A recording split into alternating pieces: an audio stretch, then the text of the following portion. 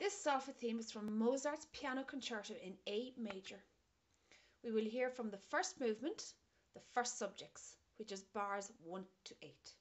We will hear it first on piano, followed by the solfa.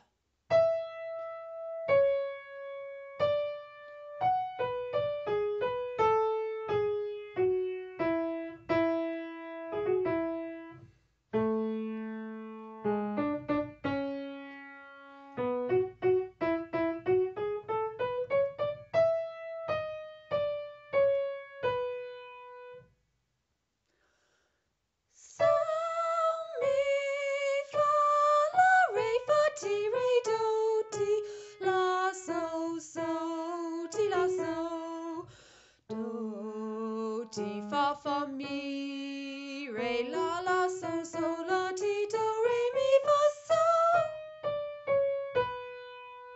This time I'll play it again, explaining some of the features as I go along. With a descending melody now.